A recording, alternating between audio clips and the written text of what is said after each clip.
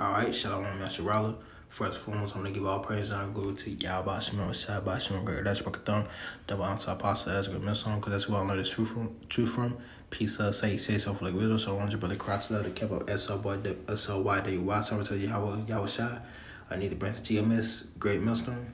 Shalom to beloved Akim, shalom to the apostles, GMS, beloved apostles, GMS. Shalom to the beloved generals, S-O-Y-D-Y. Shalom to the other few Akims, to, to all the uh, beloved Malachium out there that's living throughout the four corners of earth within truth and sincerity. And shalom to the few Aquas that are single and in silence according to the scriptures. It's your brother Kratzada. It's going to be a quick hitter. You know, it's scripture tonight, but it's a quick hitter. But, um, uh, fear not. The Lord's going to help you. The Lord's going to help you. The Lord's going to fight with you, you know. So the book of Isaiah chapter 41, verse 13. Okay. Uh, the book of Isaiah 41 and 13. For I, the Lord Yahweh Shai, that power will hold thy right hand, saying unto thee, Fear not, I will help thee. Fear not, thou worm Jacob, and ye men of Israel. I will help thee, said the Lord Yahweh Shai, and thy Redeemer, the Holy One of Israel. You know, because uh, cause of the Lord, you know, uh, this is a motivation too to go harder too, especially like when you're feeling down. You pray to the Lord. You talk. You reach out to the brothers.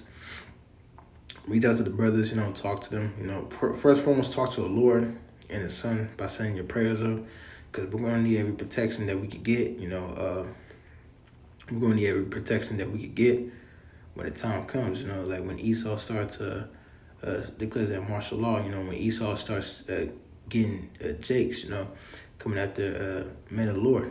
You know, when when Esau comes after men of the Lord, you know the, the two thirds and the two thirds gonna realize that the prophets have been amongst them. You know, and uh, you know like they got like a lot of super weapons that could jack a lot of Jakes up. You know, Jakes think they posing themselves with guns and all that, thinking that they tough.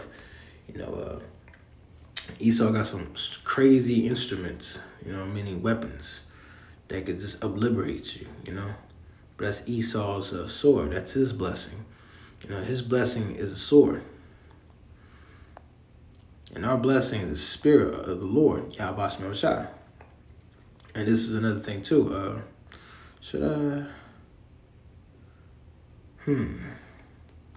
Okay, I'm gonna start at Philippians 4 and 6.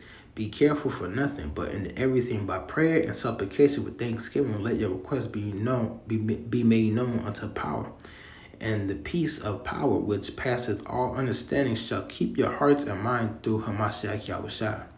And we're going to go to 13. Philippians 4 and 13. I could do all things through Hamashiach which strengthens me. You know, you, like with Yahushua Hamashiach, you know, he's our one true redeemer. You know, he's not just a savior, but he's our he's our one true big brother, you know. He love he loves his men, you know, he loves men that's fight for that fights for him and his father, you know he's a son of man for a reason.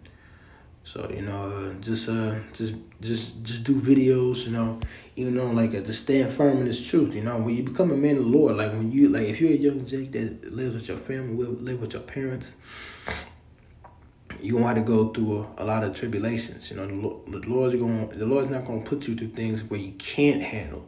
The Lord is testing you. It may seem like the Lord's putting you through things that you can't handle, but really you can handle. You just got to pray to the Lord and you know ask for the ask for the spirit protection from Him to be put onto you.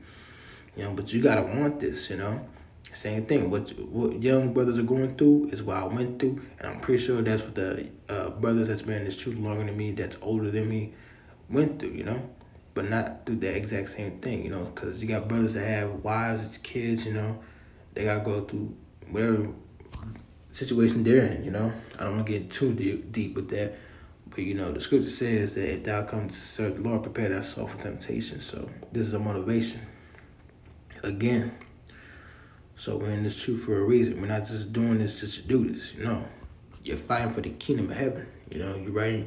You're fighting to be part of the elect, to be saved with the Lord when when when things when when things kicks uh, hits the fan, you know. Because pretty much, man, uh, these devices gonna be useless when the EMP is uh, initiated, you know, and you ain't gonna have nothing.